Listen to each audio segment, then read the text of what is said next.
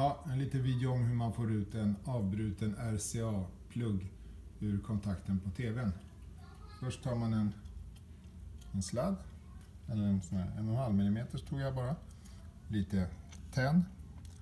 Tänna den spetsen. Och ljuset här tog jag bara, det gick bra. Och sen då ser man till att få en liten droppe. Och så, när den fortfarande är flytande, så för man in den mot stiftet och rycker ut och sen så väntar man. Och då kommer den ut sådär. Jätteenkelt. Varsågoda.